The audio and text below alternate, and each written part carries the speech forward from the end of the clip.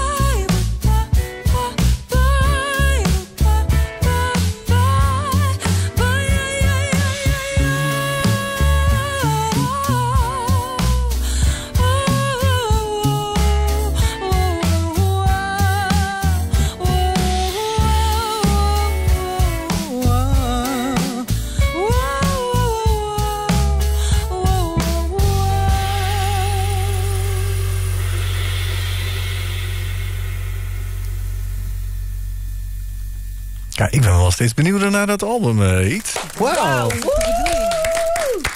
Supermooi. Time, dat is Eat. Vanmorgen live bij ons met haar bandje. Um, februari dus het album Eat. Uh, maar straks ook nog even een uh, Zwarte Lijst Classic. Yes. Ligt dat jouw liedjes coveren? Um, ja, het ligt aan welke liedjes. Als het liedjes zijn die bij me passen, dan... Uh, en dan, moet je, en dan moet je zelf een beetje producertje spelen natuurlijk. Een klein beetje, ja.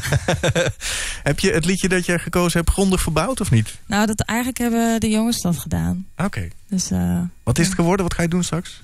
Uh, Son of a Preacher Man. Dusty Springfield? Yes. Wauw, wat gek. Uh, horen we je straks weer? Yes, oké. Okay. Da dankjewel.